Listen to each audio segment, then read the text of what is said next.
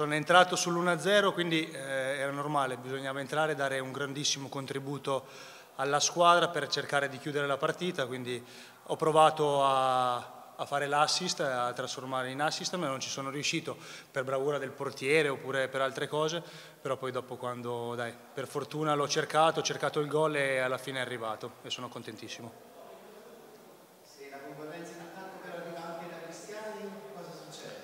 No, eh, Ale, Ale, è un grandissimo giocatore, una grandissima un grandissimo centrocampista e devo dire che veramente oggi ha fatto una partita eccezionale al di là dei gol ma